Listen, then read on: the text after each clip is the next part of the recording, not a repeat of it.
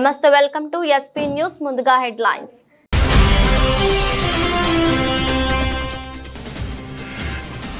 విద్యుత్ శాఖపై ముఖ్యమంత్రి రేవంత్ రెడ్డి సమీక్ష.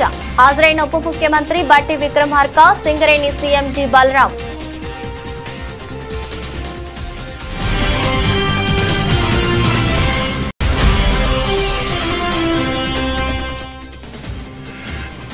CM చంద్రబాబుపై మాజీ సీఎం జగన్ సంచలన వ్యాఖ్యలు. చంద్రబాబు ఇంట్లో ఉండలేని పరిస్థితులు కాబట్టే కలెక్టరేట్లో ఉండి బిల్డప్లు ఇస్తున్నారంటూ ఎద్దేవా.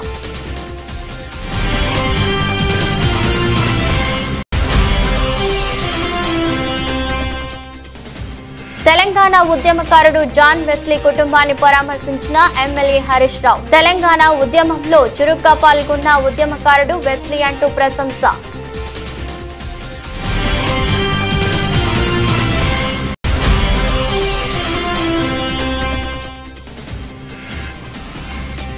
మహిళా నేతతో సత్యవేడు ఎమ్మెల్యే ఆదిమూలం రాసలీల్లో వీడియో బయటపెట్టిన బాధితురాలు.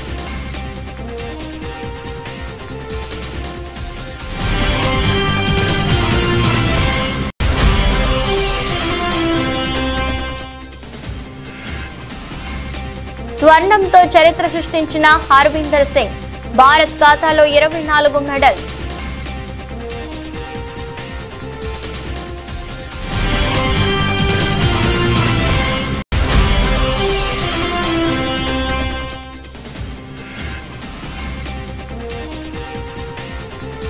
మగువలకు గుడ్ న్యూస్. దిగొస్తున్న బంగారం ధరలు.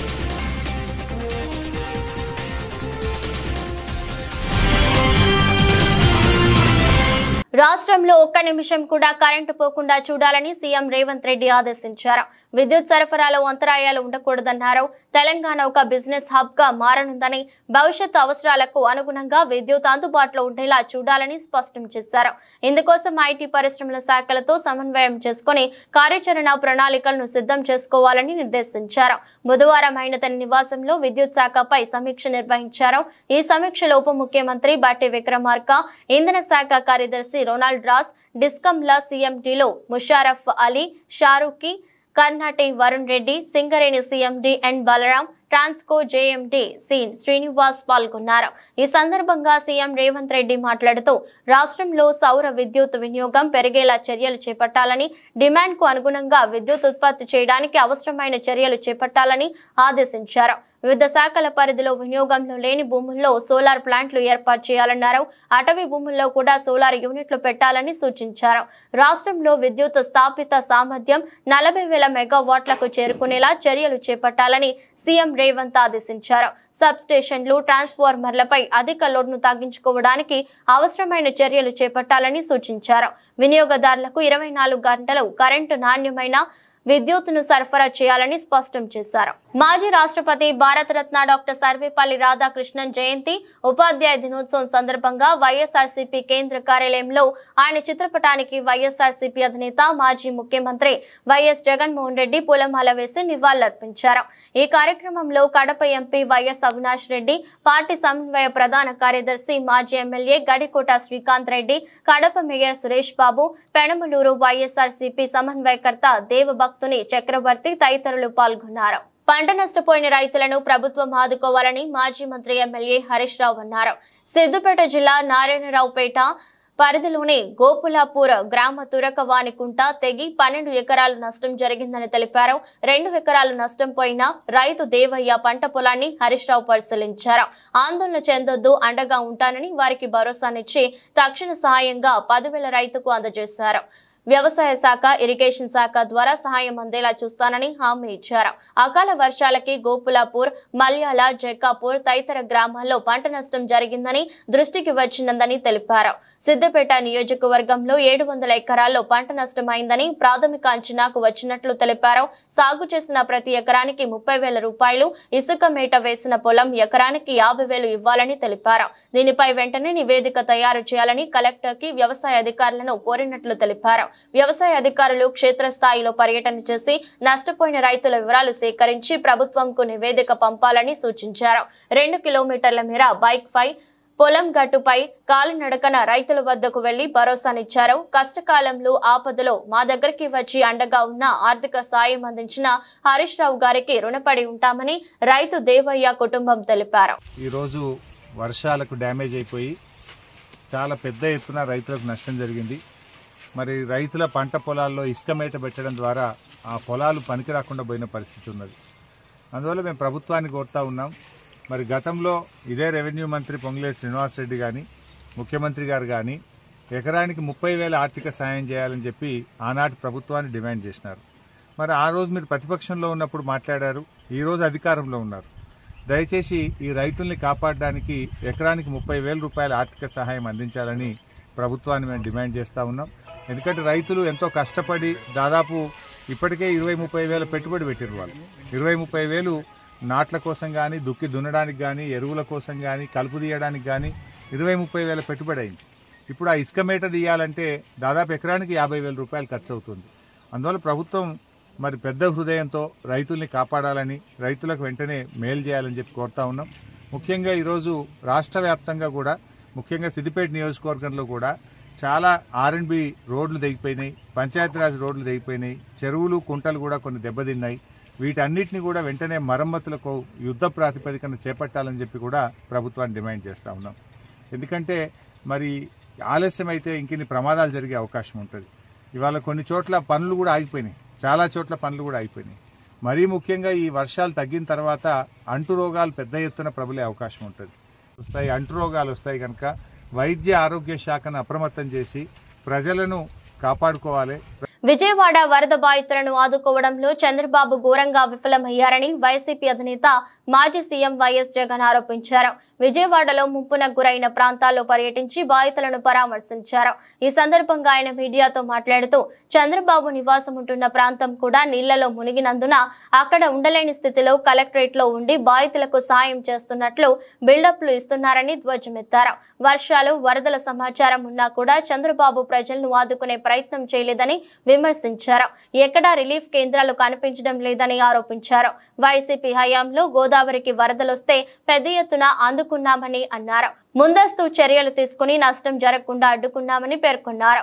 వాలంటరీ వ్యవస్థ ఉంటే కూటమి ప్రభుత్వం ప్రణాళికాబద్ధంగా వ్యవహరించి ఉంటే విజయవాడ విపత్తుకు గురి అయ్యేది కాదని విమర్శించారు. చంద్రబాబు సీఎంగా అటర్ ఫ్లాప్ అని అన్నారు. వరదల్లో చనిపోయిన వారికి ఇరవై ఐదు లక్షల పరిహారం అందించాలని ప్రతి ఇంటికి యాభై వేలు ఇచ్చి ఆదుకోవాలని డిమాండ్ చేశారు. అసలు అసత్యం అనేది ఎక్కడుంది దీంట్లో? నీ పేరేం పేరు? నవీన్ నువ్వే చెప్పు. నవీన్ ఇంత అసత్యం అనేది ఎక్కడుంది చెప్పు. నేను చెప్పిన ప్రతి మాట కూడా ఎక్కడ అసత్యం కనిపిస్తూ ఉందో మీరే దయచేసి చెప్పమని అడుగుతా ఉన్నా. మీకు తుఫాన్ ఇరవై ఎనిమిదో తారీఖున తుఫాన్ రాబోతా ఉంది. బుధవారం రాబో బుధవారమే తుఫాన్ రాబోతూ ఉందనే సంగతి మీకు తెలియదా చంద్రబాబు నాయుడుకి తెలియదా మనకే తెలిసినప్పుడు. అది గజెట్లో ఐఎండి వాళ్ళు ఇచ్చిన రిపోర్టే కదా మరి శుక్ర బుధవారమే అని చెప్పి. మరి బుధవారం ఆ- ఆ ఇన్ఫర్మేషన్ నీకు వచ్చినప్పుడు డ్యాములు ఎంత ఉన్నాయో చూసుకోవాల్సిన బాధ్యత నీదే కదా. పైనుంచి కూడా ఇతర రాష్ట్రాల నుంచి నీళ్ళు వస్తున్నాయనే సంగతి నీకు తెలిసిందే కదా. అన్ని డ్యాములు నిండున్నాయన్న సంగతి నీకు తెలిసిందే కదా. ఫ్లడ్ కుషన్ ఏర్పాటు చేసుకోవాలన్న సంగతి నీకు తెలిసిందే కదా. ప్లస్ పైగా దానికి తోడు కృష్ణా నది నుంచి వచ్చే నదికి నీళ్ళకు తోడు ఇక్కడ తుఫాన్ రాబోతా ఉందన్న ఇన్ఫర్మేషన్ కూడా నీకు తెలుసు కదా. సో దానివల్ల కూడా అడిషనల్గా నీళ్ళు వస్తాయన్న సంగతి కూడా నీకు తెలుసు కదా. మరి దీంట్లో అబద్ధం ఎక్కడుంది? లాజిక్ ఎక్కడ ఇల్లాజికల్గా ఎక్కడుంది దీంట్లో? అన్నీ కూడా వాస్తవాలే కదా. మరి ఇరవై ఎనిమిదో తారీఖునే నీకు అలర్ట్ వచ్చిన మాట వాస్తవం?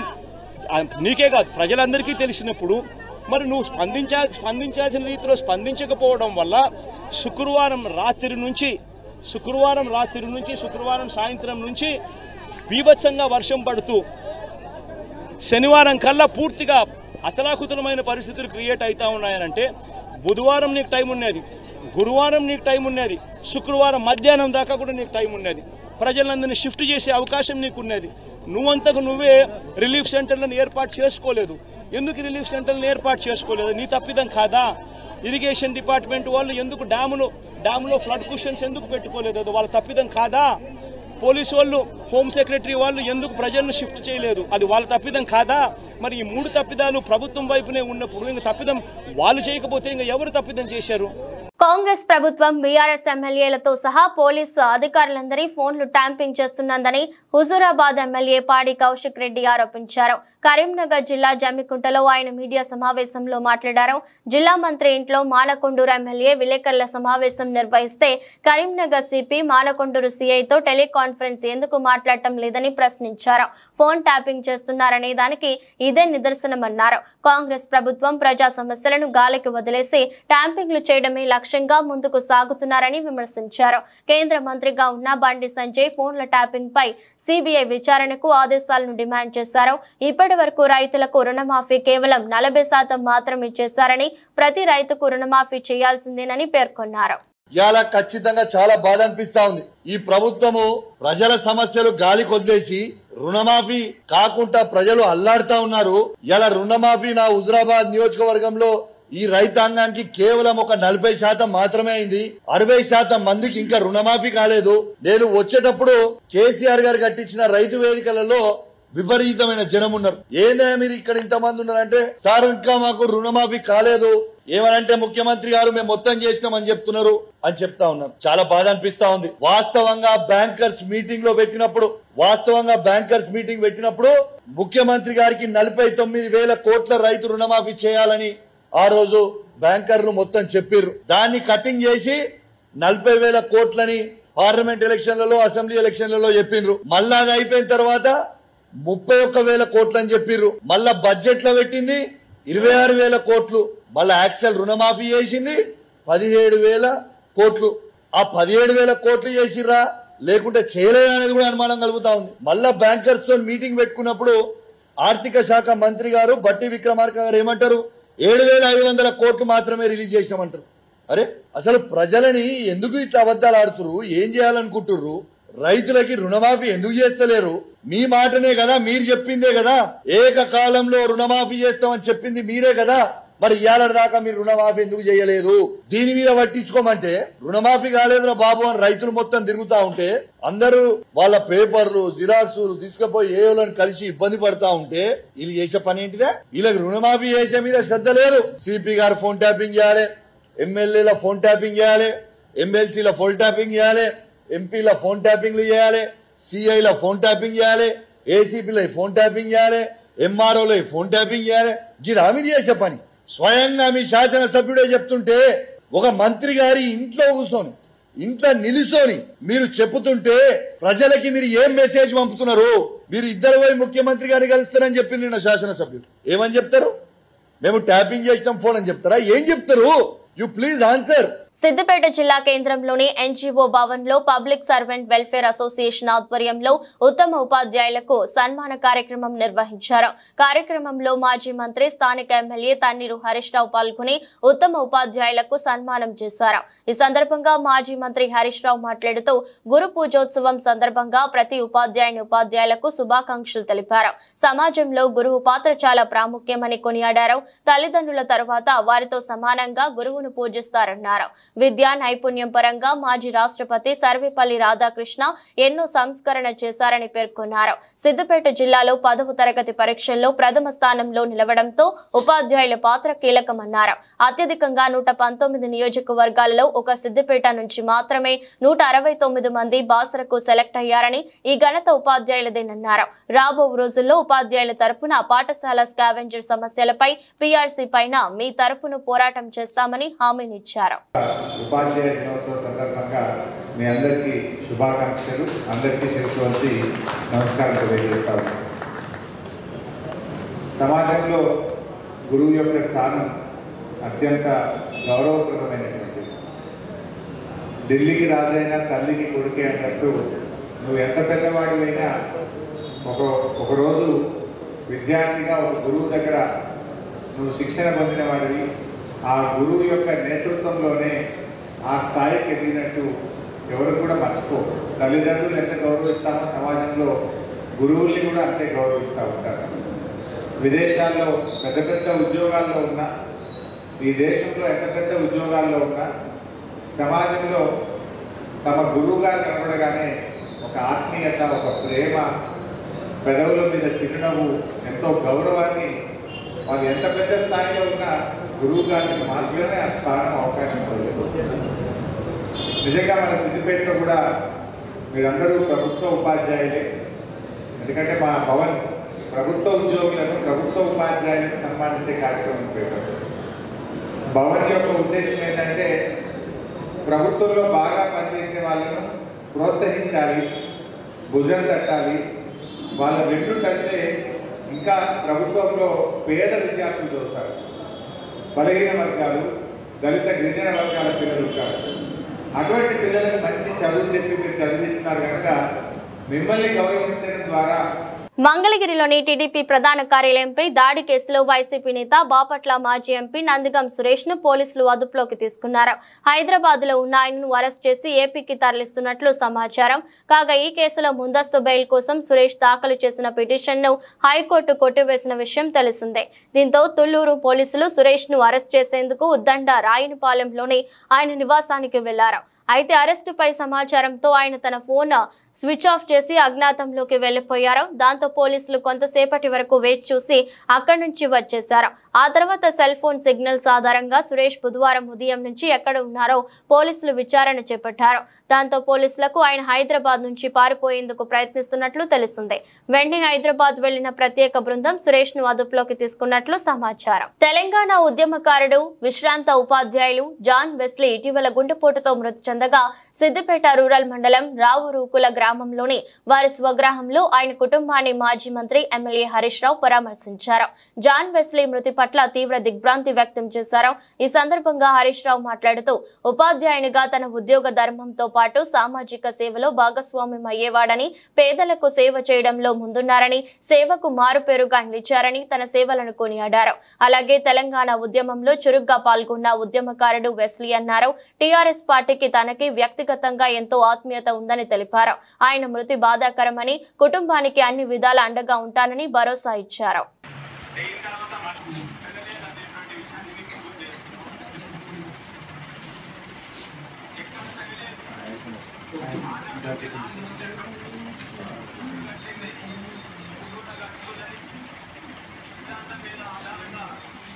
కాకినాడ జిల్లా ప్రతిపాడు నియోజకవర్గం ఏలేశ్వరం నగర పంచాయతీ బాలాజీ చౌక్ సెంటర్లో మార్స్ కంప్యూటర్ అడప దుర్గారావు ఆధ్వర్యంలో మట్టి వినాయక ప్రతిమలు పంపిణీ కార్యక్రమం చేపట్టారు. ఈ కార్యక్రమానికి ముఖ్య అతిథులుగా sub inspector Ramalingeswara Rao degree college అధ్యాపకులు ప్రయాగమూర్తి ముఖ్య అతిథులుగా హాజరయ్యారు. ఈ సందర్భంగా వినాయక మట్టి ప్రతిమలు ఎస్ఐఎన్ రామలింగేశ్వరరావు చేతుల మీదుగా పంపిణీ చేపట్టారు. ఈ సందర్భంగా మీడియాతో మాట్లాడుతూ ముందుగా వినాయక చవితి శుభాకాంక్షలు చేస్తూ గత పన్నెండు సంవత్సరాలుగా మార్స్ కంప్యూటర్స్ అధినేత ఆడప దుర్గారావు ఉచితంగా మట్టి వినాయక ప్రతిమలు పంపిణీ చేస్తూ పర్యావరణ పరిరక్షణ దిశగా పాటుపడుతున్న దుర్గారావు అభినందించారు. ముందుగా మొత్తం ఏలేశ్వర పట్ల ప్రజలందరికీ కూడా రాబోయే వినాయక చవితి శుభాకాంక్షలు తెలుపుకుంటున్నాం మా పోలీస్ శాఖ తరఫున. మా ఎస్పీఆర్ ఆధ్వర్యంలో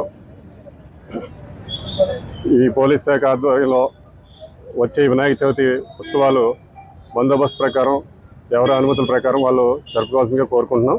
మరీ ముఖ్యంగా ఈ కార్యక్రమం మార్స్ దుర్గారావు గారి ఆధ్వర్యంలో మట్టి వినాయకులు పంపడం పంపిణీ చేయడం జరిగింది.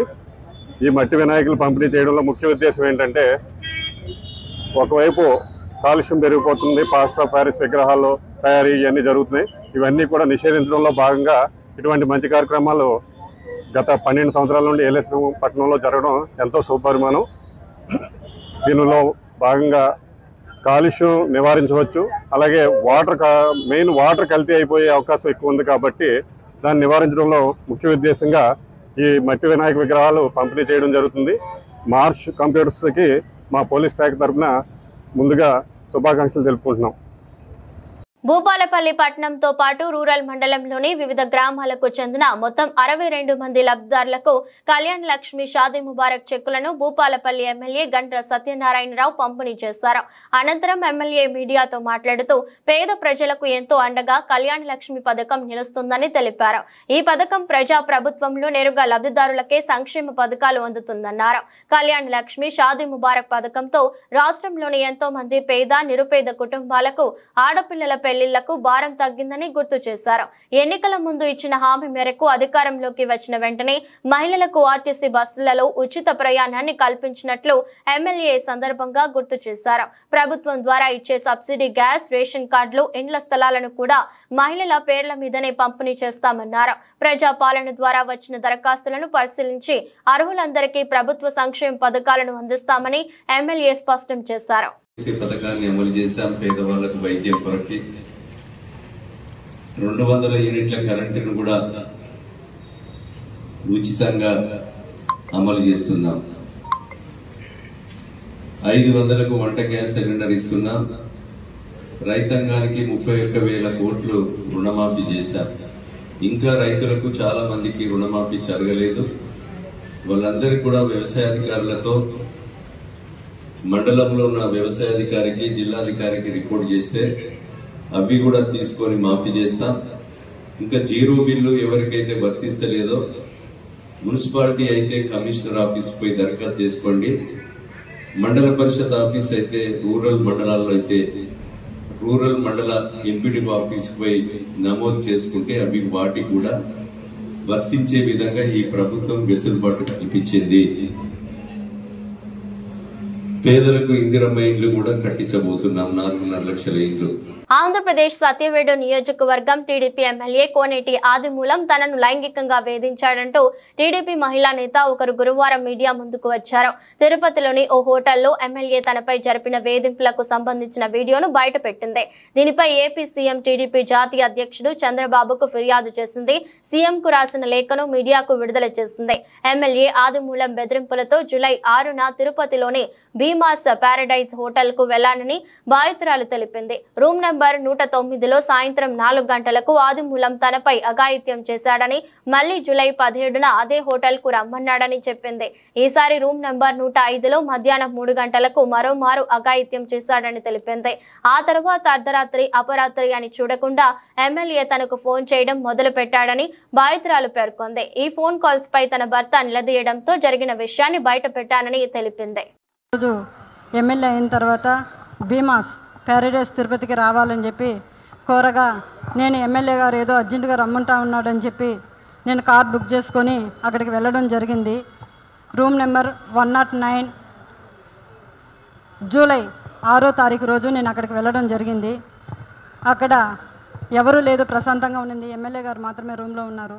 నేను వెంటనే రూమ్లోకి వెళ్ళడం నా పైన బలాత్కారానికి పాల్పడ్డాడు. పాల్పడిన తర్వాత నేను అతనికి లొంగిపోవడం జరిగింది. జరిగిన తర్వాత ఈ విషయం ఎక్కడైనా బయట చెప్పావంటే నేను చంపేస్తాను నీ కుటుంబాన్ని చంపేస్తాను అని చెప్పి బెదిరించడం జరిగింది. అందువల్ల నేను ఎవరికి చెప్పుకోకుండా నేను సైలెంట్గా ఉండిపోయాను. మళ్ళీ ఇంకొకసారి ఫోన్ చేసి నువ్వు కానీ రాలేదంటే నేను మళ్ళీ నీ కుటుంబాన్ని నీ భర్తని చంపేస్తానని చెప్పి నన్ను బెదిరించడం జరిగింది. బెదిరించడం ద్వారా నేను మళ్ళీ అక్కడికి భీమాస్ ప్యారడైస్కి వెళ్ళడం జరిగింది. వెళ్ళిన తర్వాత నేను పూర్తిగా ఆయన్ని అవాయిడ్ చేస్తూ వచ్చాను. నేను అవాయిడ్ చేశానని తెలుసుకున్న అతను నాకు పదే పదే సైకోలాగా నిమిషానికి ఒకసారి నిమిషానికి ఒకసారి ఫోన్ చేయడం జరిగింది.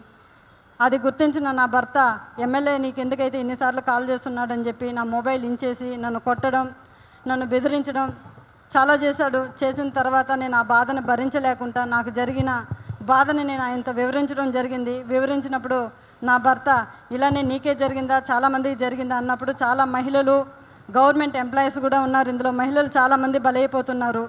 చెప్పాను నేను. చెప్పినప్పుడు ఆయన సూచించాడు నన్ను ఈ చాలామంది మహిళల్ని కాపాడుకొని మనం మనం బ్రతకాలి మనం కాపాడుకోవాలని చెప్పి ఆయన నా నాకు ఒక పెన్ కెమెరాని అరేంజ్ చేసి ఇవ్వడం జరిగింది.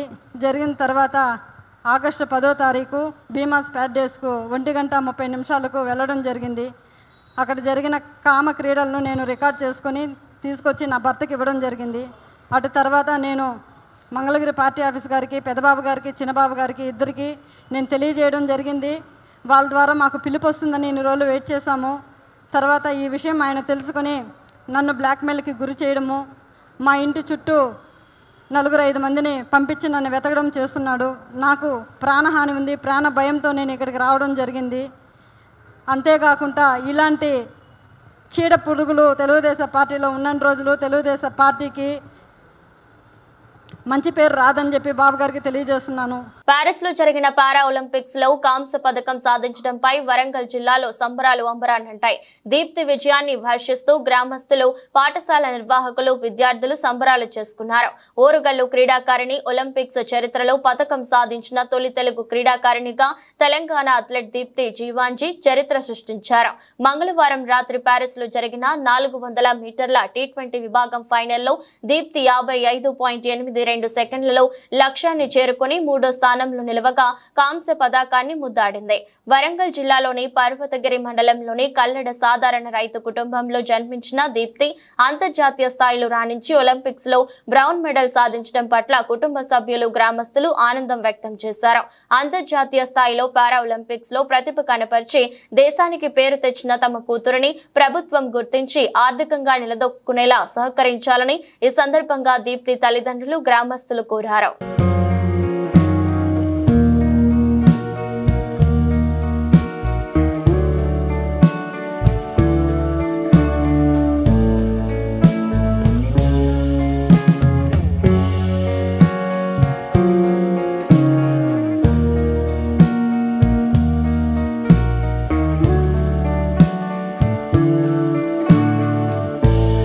లక్షల రూపాయల విలువ చేసే నాన్ డ్యూటీ పెయిడ్ లిక్కర్ను ఎక్సైజ్ అధికారులు శంషాబాద్ ఎయిర్పోర్ట్లో పట్టుకున్నారు. పన్నెండు లక్షల విలువ చేసే నాలుగు వందల పదిహేను మద్యం బాటిళ్ళను సీజ్ చేశారు. మొత్తంగా పన్నెండు మందిపై కేసు నమోదు చేశారు. గోవా నుంచి ఎయిర్పోర్ట్ ద్వారా హైదరాబాద్కు తరలిస్తున్న పన్నెండు లక్షల విలువ చేసే నాన్ డ్యూటీ పెయిడ్ లిక్కర్ను ఎక్సైజ్ పోలీసులు పట్టుకున్నారు. Excise enforcement directorate VB Kamalasan Reddy DC Rangareddy Dasharath AC R Kishan AES Jeevan Kiran enforcement టీంలు రెండు Shamshabad DTF excise police team కలిసి టీమ్స్ కలిపి ఈ రాకెట్ గుట్టును రట్టు చేశారు. శంషాబాద్ రాజీవ్ గాంధీ అంతర్జాతీయ విమానాశ్రయంలో శంషాబాద్ ఎన్ఫోర్స్మెంట్ పోలీస్ బృందాలు తనిఖీలు నిర్వహించారు. గోవా నుంచి మద్యం తీసుకుని వస్తున్న వ్యక్తులను అదుపులోకి తీసుకున్నాయి. వారి నుంచి నాలుగు వందల పదిహేను బాటిళ్ళను పట్టుకున్నారు. మద్యం బాటిళ్ళను పట్టుకున్న పన్నెండు మందిపై ఎక్సైజ్ పోలీసులు కేసు నమోదు చేశారు.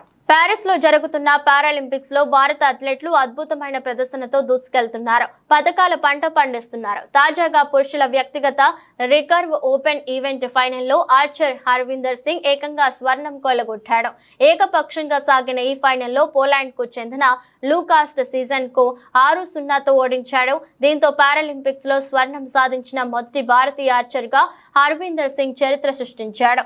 అటు ఒలింపిక్స్ లోను ఇప్పటి వరకు భారత్కు ఆర్చరీలో గోల్డ్ మెడల్ రాలేదు. కాగా ముప్పై మూడు ఏళ్ళ హర్విందర్ మూడేళ్ళ క్రితం టోక్యోలో జరిగిన పారాలింపిక్స్లో కాంసం గెలిచిన విషయం తెలిసిందే.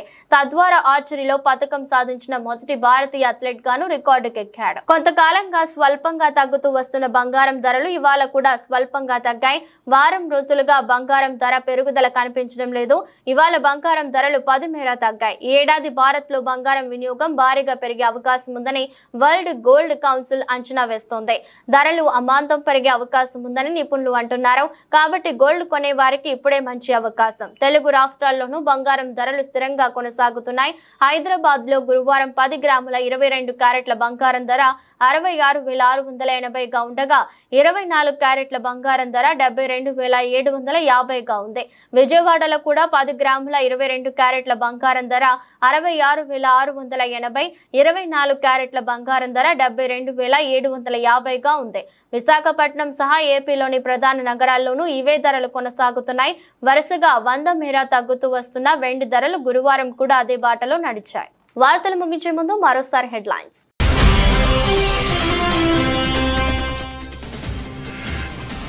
విద్యుత్ శాఖపై ముఖ్యమంత్రి రేవంత్ రెడ్డి సమీక్ష. హాజరైన ఉప ముఖ్యమంత్రి Bhatti Vikramarka Singareni CM D Balaram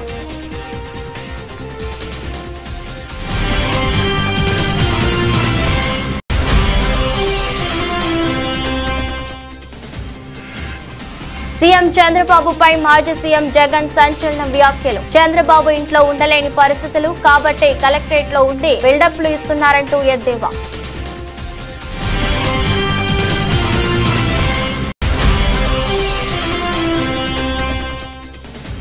Telangana ఉద్యమకారుడు జాన్ వెస్లీ కుటుంబాన్ని పరామర్శించిన ఎమ్మెల్యే హరీష్ రావు. తెలంగాణ ఉద్యమంలో చురుగ్గా పాల్గొన్న ఉద్యమకారుడు వెస్లీ అంటూ ప్రశంస.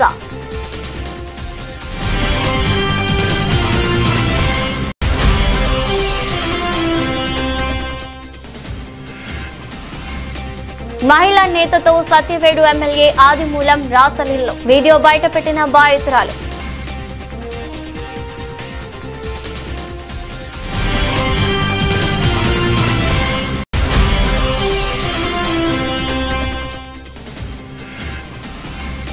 స్వర్ణంతో చరిత్ర సృష్టించిన హర్వీందర్ సింగ్. భారత్ ఖాతాలో ఇరవై నాలుగు మెడల్స్.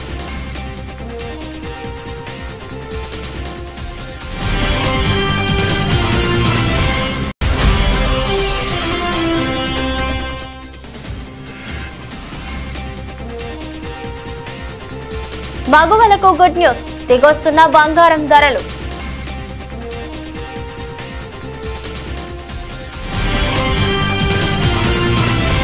ఇదిరాష్ట్ర బులెటిన్ మరో బులెటిన్లో మళ్ళీ కలుద్దాం. అంతవరకు సెలవు నమస్కారం.